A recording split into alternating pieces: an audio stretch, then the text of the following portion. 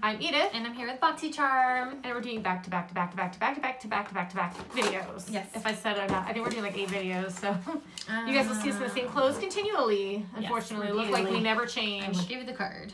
Okay, so let's see. What should I put? I'll oh, like first. Bubbles and glitz. It's really pretty. Okay, I have Tarte's Man Eater mascara, right? I was just thinking of a song. Voluptuous that- mascara. So which way would I show it that way? That's Tarte's. It's normally twenty three dollars. It looks like it's a full size. good. Yeah, I like that. And then I have ooh Mac.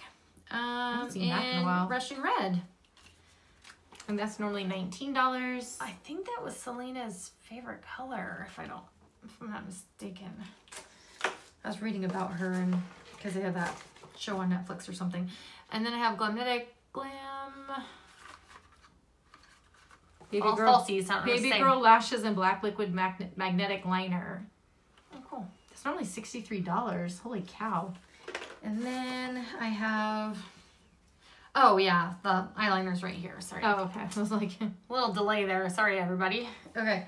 And then um, Butter London's Melt Away Cuticle Exfoliator. that's, That's normally eighteen dollars. I think BoxyCharm's doing good this this month.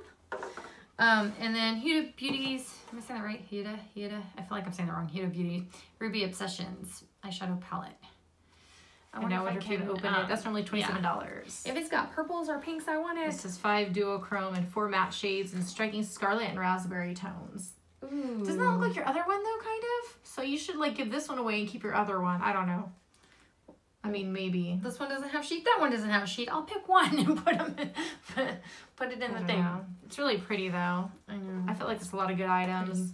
If this video is fast enough for you, give us a thumbs up and don't forget to subscribe to know about our future giveaways. And we'll catch you in our next video. Take care. Bye.